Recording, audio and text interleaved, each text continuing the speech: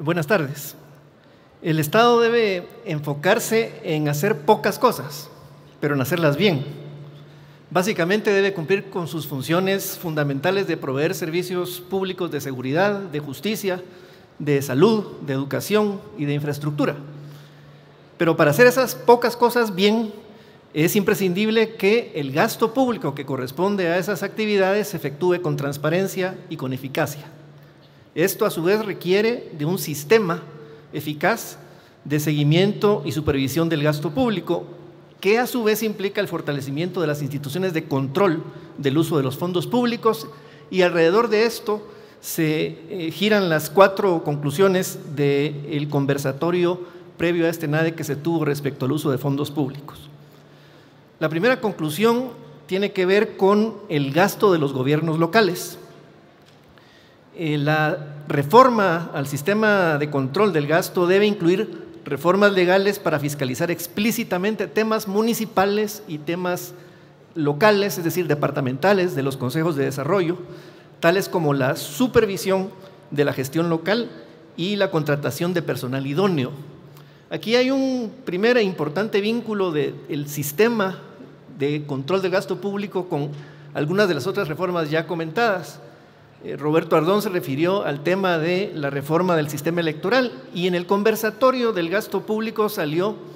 que las disfunciones y las debilidades del sistema electoral se manifiestan en un deterioro del gasto público en el tema de contrataciones, por ejemplo, a nivel local. Eh, hubo expresiones muy claras de que falta personal idóneo debido a que los puestos públicos a nivel local están más bien asociados a intereses políticos y a eh, clientelismo y compadrazgos. Y es que estamos hablando de un monto muy importante, más del 15% de todos los ingresos del gobierno, de lo que pagamos todos con nuestros impuestos, se transfiere a las municipalidades y a los consejos de desarrollo sin que históricamente haya existido ni un control efectivo sobre este 15%, eh, más de 15% de nuestros recursos que se van a esos gobiernos locales, ni mucho menos un vínculo entre ese gasto local y los objetivos de desarrollo del Estado. La segunda conclusión tiene que ver con la planificación. Eh, pareciera que la planificación es un gran ausente en las discusiones sobre el control del gasto público. Y es que para fiscalizar los fondos públicos, efectivamente, eh, debe enfatizarse la supervisión de la calidad y no solo de la cantidad del gasto, y para eso debería la supervisión centrarse en los resultados estratégicos derivados de una planificación previa y no solo enfocarse en qué se gastó o dónde se gastó. Y por lo tanto también debe haber una fiscalización sobre los procesos de planificación y programación eh, del gasto público y más, más coordinación entre el, gasto público y eh, la ejecución de este. Y eso nos lleva un poco a la tercera conclusión. Eh, porque la discusión sobre la reforma del sistema de control del gasto público va más allá que el llevado y traído tema de la ley de contrataciones.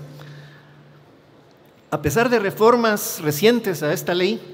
es necesario que se considere la elaboración de una reforma más integral que incluya criterios de eficiencia en el uso de los fondos públicos. Esto, por ejemplo, incluye eh, una mejor fiscalización de cumplimiento de la ley del presupuesto, que debería ser el eje eh, en torno al cual gire eh, la auditoría gubernamental.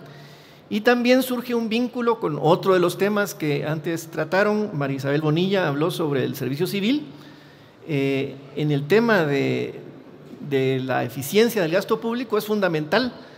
porque quizá el problema de la lentitud e ineficiencia en la ejecución del presupuesto y del gasto público no sea tanto las dificultades de la ley o, las deficiencias de la ley de contrataciones, sino la falta de capacidades del servicio civil de cumplir estas normas que son estándares internacionales. Y la cuarta conclusión es que no se trata solo de qué hace la Contraloría.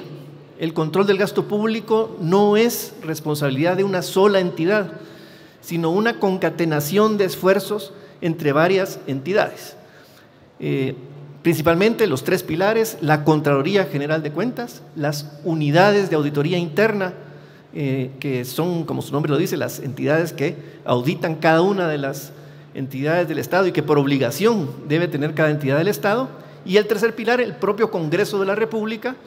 que tiene, aparte de su mandato de legislar y su mandato de representar, todo Congreso tiene un mandato de control, de fiscalización de las acciones del Ejecutivo. Es como una empresa, digamos que su sistema de, de, fiscalización o de control financiero se basa en su auditoría externa, pero obviamente no solo en ella, también en sus auditorías internas, en su departamento de contabilidad y en la labor contralora de su junta directiva. En el Estado es igual. La Contraloría es la auditoría externa, las UDAIs, unidades de auditoría interna, son las auditorías internas, y el Congreso debe ejercer esa función contralora de, la junta directiva del gobierno. Y se determinó en el conversatorio que existe un amplísimo campo de mejoras, eh, tanto administrativas, en administrativas, por ejemplo, esta labor que por ley el Congreso tiene que cumplir por mandato de aprobar anualmente la ejecución del presupuesto, no existen los protocolos, no existen los procedimientos por escrito, no existen las normas, entonces administrativamente podría mejorarse mucho en, el cumplimiento de eso. Pero también hay un amplio campo de mejoras en lo legal, reformas legales, como por ejemplo la ley orgánica de la Contraloría, que podría mejorar muchísimo si se identificara mejor el mandato de esta entidad, si se modernizara ese mandato, si se mejorara la forma y los requisitos de elección del contralor y los subcontralores, cuál es la relación de la Contraloría con las unidades de auditoría interna y qué mandato deben tener estas, y la propia relación de, estas entidades con el Congreso de la República. En síntesis, eh, es en el eficaz funcionamiento de este sistema de control de gasto público que debería descansar el todo el, esfuerzo de prevención y de combate a la corrupción, que idealmente debería tener un énfasis preventivo y no punitivo, eh, como sugería el propio eh, profesor Robinson, la corrupción es un síntoma de estas instituciones de control que no funcionan. Eh, y ese fortalecimiento de estas instituciones,